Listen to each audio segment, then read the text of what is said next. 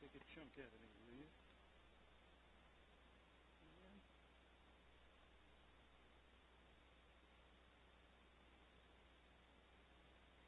And my sense is that uh, it's hard to tell.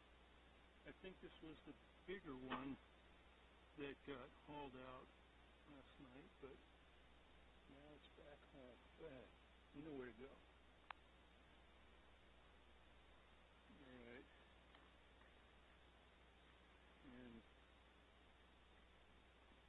Them a little something to nosh on.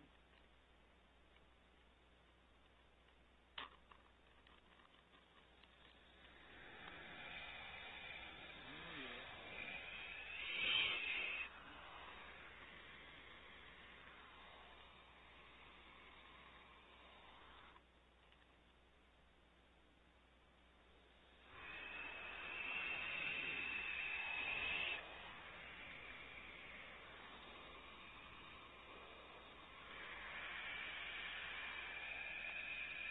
By the way, Phil um, mentioned something about the mic being low, and I checked it. I, it seemed like it was all right.